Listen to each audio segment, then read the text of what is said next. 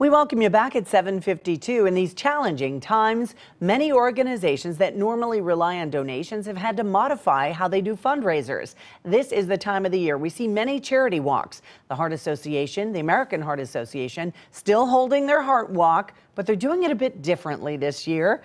Beth Osserhoff is the Heart Walk director here this morning to talk about it. Good morning to you, Beth. How are you?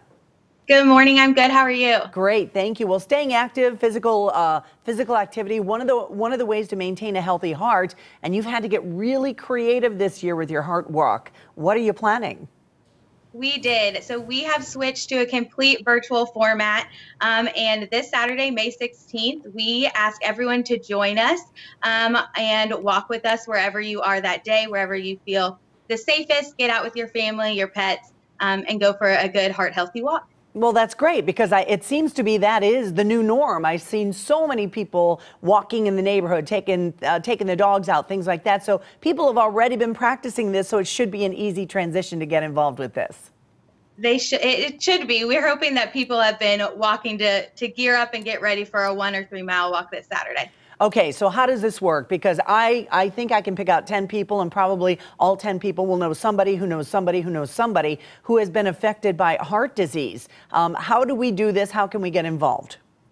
Yeah, so most of our stuff that day is going to be on our Facebook platform. Um, so if you haven't already, go to facebook.com slash AHASTL and join our event. At 10 a.m., we're going to have online opening ceremonies, and then we're asking people to get out and walk post pictures that day using our hashtag HeartWalkSTL um, and post pictures in our event page so that it seems as if we're all walking together, just not necessarily side by side this year. Yeah, social distancing has to come into play, of course. So, would be a great idea for maybe a neighborhood or a cul-de-sac or a particular subdivision to kind of get together and do it. And you want folks to post it online with a, a hashtag HeartWalkSTL, right?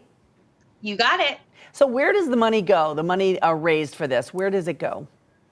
Yeah, so it goes to research, education, community out, um, outreach, um, and then we had a bold response to COVID 19 as well. Um, we set aside $2.5 million for research um, specific to the cardiovascular implications of COVID 19. So um, we're doing a lot in our communities and across the nation um, so all the money goes directly to our mission. Fantastic. The Heart Walk is happening only online this year, so we're encouraging folks to get involved. Thank you so much for joining us this morning. And of course, we will have you. all the information you need on our website as well as our Fox 2 mobile app.